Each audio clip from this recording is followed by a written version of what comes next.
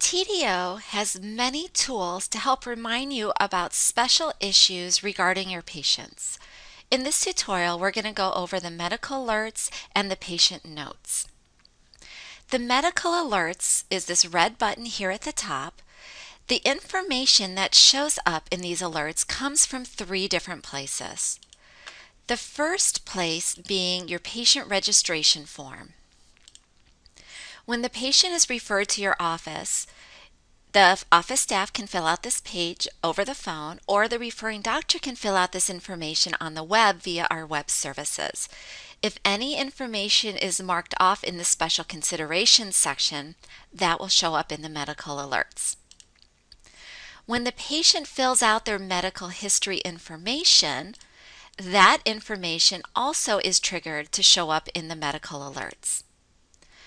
Finally, on the calendar, when a patient schedules an appointment, on the new appointment screen, there is a medical info tab and all of the items here in this special considerations for treatment will also trigger the medical alerts. Any of the items that were previously marked on the patient referral form will also show up marked here as well. When a patient is scheduled for an appointment and you open up their patient's record, that medical alert is going to automatically show up until you mark do not show this message again. Whenever you change tabs, this alert will keep coming up until you mark this box stating you have read these alerts and you don't need to be informed again for this appointment. However, if the patient does come back for another appointment on a future date, the alerts will automatically pop up again until it's marked that you don't need to see them again. Marking the do not show only applies to this one workstation. So if you were to open up the same chart on another workstation where the patient is checked in for an appointment, the alert would come up again.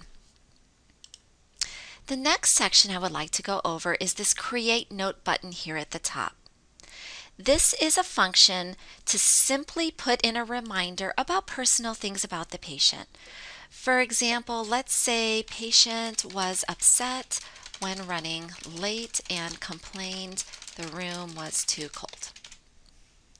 I'm going to close my note. This now shows yellow with the message view note. If I double click on the view note button, it brings my note up. This is just a reminder note of something you want to be aware of. Could be where the patient went to school, could be their children's names, or items like this, something personal about a complaint. Now also be aware that these are non-discoverable notes. If I remove this note, let's say I don't need to read this one anymore, my note is now gone and there is no history of it in the database. We hope these two tools will help remind you about important issues with your patients and make running your practice a little bit smoother.